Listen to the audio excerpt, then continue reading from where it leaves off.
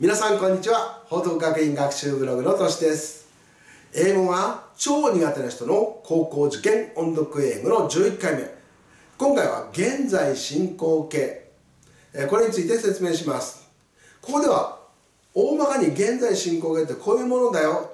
ということを、えー、やるんですけれどもっと詳しいことを知りたい人、えー、この上に現在進行形の学習動画リンクが出ます、えー、そちらの方の動画で詳しい勉強はしてくださいではここの英文読んでみますね Ken and Yoko are in the park Yoko is running with her dog Ken is reading on the bench 2回目です Ken and Yoko are in the park Yoko is running with her dog Ken is reading on the bench こんな文章ですね意味を確認します Ken and Yoko are in the park ケンとヨーコは、えー、公園にいますでヨーコ is running with her dog ヨーコは、えー、犬と一緒に走っていますで Ken is reading on the bench ケンは読書をしています on the bench ですからベンチに座ってとえー、こういう意味ですね。この3つの文の中で Yoko is running with her dog と Ken is reading on the bench この2つは現在進行形の文と言います。現在進行形っていうのは今そのことをしているその最中だよと、ね、まだその途中でそれをし終わっていないよという意味を表している文章です。これが現在進行形の文。これ今何々しているところです。その途中です。まだそれをしわっていません。つまり言い換えればまだ走っている途中で走り終わってないよと。県は読書の途中で読書まだ終わってないよと。こういうことを言ってるわけです。こういう文章の特徴。まず主語が来ます。その主語の後ろに B 動詞 B 動詞は am, is, are でしたね。さらにその後ろに一般動詞に ing がついた形こうなります。では例を3つ取って説明していくと1は I study English I study English 私は英語を勉強します。ということですけれどこれ今勉強していることじゃないんですね。普段勉強してるんだよということ。これを表しています。これ現在形と言いましてね。普段のことを言うのは現在形の文字。ですこれを今英語を勉強しているところだよ、ね、今勉強しているところだよと言いたかったらこの I の後ろに B 動詞の am を入れて study の後ろに ing をつけて studying こうなって I am studying English こうすると私は今英語を勉強しているところです。勉強の途中でまだ勉強終わってないよこういう意味になるんですね2番は She played the piano. She played the piano. 彼女はピアノを弾きます。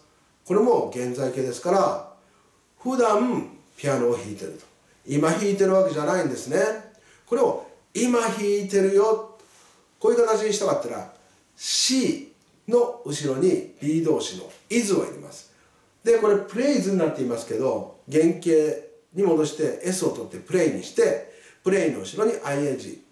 そうすると、She is playing the piano. She is playing the piano. これで彼女は今ピアノを弾いているところだよと。ね、ピアノを弾いている途中でまだ弾き終わってないよと。こういう意味を表す文になったわけです。さらに3番目。We watch TV. We watch TV. 普段テレビを見るんですね。私たちは普段テレビを見ますよと。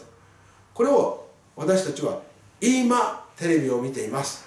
こう言いたかったら We の後ろに B 動詞の R を入れて watch に ing をつける。We are watching TV We are watching TV これで私たちは今テレビを見ているところですよと。テレビを見ている最中途中だよと。まだ見終わってないよと。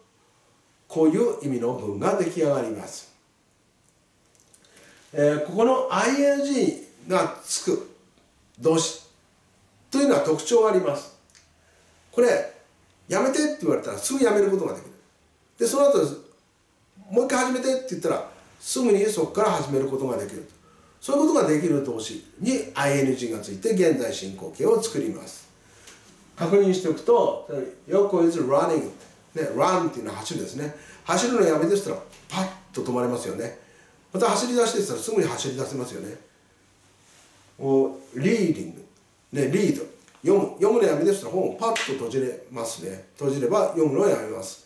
で読み始めてたらまた本を開いて読むことができます。こっちも同じで勉強。勉強はやめてって言ったら嬉しいですよね。すぐやめちゃいますよね。で始めなさいって言われたらあいやいや始めるわけですね。すぐやめてすぐ始めることができる。だからスタディも ING がつくことができると。でピアノを弾くの弾くピアノを弾くのやめてって言ったらパッとやめられます。また弾き始めてって言ったらそこから弾き始めることができます。同じようにテレビを見ること。見るのをやめてって言ったらね、えー、電源を切ればいいスイッチを切ると。また始めてって言ったらスイッチを入れて見始めることができると。ね、そういうことができる動詞これに ing がつくことです、ね、だから ing をつけることができない動詞があります。例えば like、ね、好きという。I like cats 私は猫が好きです。好きなのやめてとか。ね。始めてっていうのおかしいでしょ。ね。でさらにここで言っているようにその途中だよと。何々し終わってないってことはし終わることができると。ね。きな好きだったことを終わることできないですよね。好き終わるとか言わないでしょ。でも勉強は勉強を終えるって言います。ね。ピアノを弾き終わることができると。テレビを見終わることができると。走ることも終わることができると。読書も終わることができると。終わることができる動詞の時に ing がつくこう言い換えることもできます。ですから want want 欲しい。I want a car 車が欲しいと。ね。車が欲しい終わるとか言わないでしょ？だから want も ing の形は取ることができません。また live 住むっていう意味で使う時には、ね、住み終わるとかね。住むのやめて住むの始めて住むのを始めてとか。ね。なんか意味よくわかんないですよね。ですから live も ing はつくことができません。それから have これカッコしてあるのはなぜかというとこれ have は意味によって ing をつけることができるんですね。例えば I have lunch、ね。えー、昼食を食べますと。食べるのやめてそらやめられる。食べ始めてつら始められるね。だから食べるという意味の時には I'm having lunch って言えるんですね。でもこういう時はどうでしょう。ね。I have a brother 私には兄がいますと。ね。兄が言い終わるとかおかしいでしょ。だからそういう意味の時にはこれ ing がつけられないと。ね。だから like, want, live, have は使い方によって進行形にはならない。ね。こういうことなんですね。で、ing をつけるルールがあります。主なものを2つ挙げておきますと、まず丸1で E で終わっている動詞これは E を取って ing をつけますで make って E で終わってますよね。この E を取って ing で making ね come これも E で終わってますよね。この E を取って ing をつけて coming それから使うという意味の use この use も E で終わってるのは E を取って ing で using こうなります。さて2番目のルール。これ最後の文字を重ねて ing をつけるものがあります。これ単母音プラス子音字で終わっている動詞なんですけどこれ詳しいことは先ほど言った、ね、文法を説明している、えー、動画の方で確認してください。ここではどんなものがあるかというのを簡単に分かる方法、えー、紹介すると get, stop, put これカタカナで書くと小さい「つ」が入るグループ。ね。それはこれ教え方あまり良くないんですけどね。そこはちょっと承知しておいてください。ね。get 小さい「つ」入りますよねカタカナで書くと一番後ろの t を重ねて getting ね。Stop ねカタカナで書くと小さい「つ」が入りますよね。ですから一番後ろの p を重ねて stopping put 置くという意味ですね。これもカタカナで書くと小さい「つ」が入りますよね。で一番後ろの t を重ねて putting こうなります。ね、これは小さい「つ」が入るグループです。でこの swim と run これも重ねるんですけどこれはもう重ねるものだとしてこの2つは覚えちゃってください、ね、理由はこの単母音プラス新字になってるからなんですけどね。これ何？っていうと長くなっちゃうんでここではこの2つだけをしっかり覚えてくれればいいです。swim これは M を重ねて swimming ね。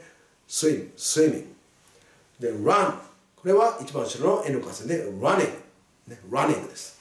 これランニングって発音する人がいるんですけど違います。詰めて running ですね。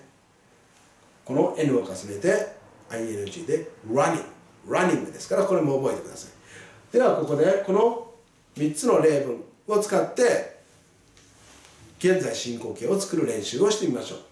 私が、えー、I study English 進行形はと言ったらこの進行形の文章私と一緒に読んでみてください。つまり I study English 進行形はと言ったら I am studying English この部分を一緒に言うわけですね今は She plays the piano 進行形はと言ったら一緒に She's playing the piano と、ね、We watch TV 進行形はと言ったら We are watching TV 私と一緒にこの進行形の部分だけ練習してみましょうでは行きますお願いします I study English 進行形は I am studying English She played the piano 進行形は She is playing the piano We watch TV 進行形は We are watching TV もう一度やってみましょうお願いします I study English 進行形は I am studying English She played the piano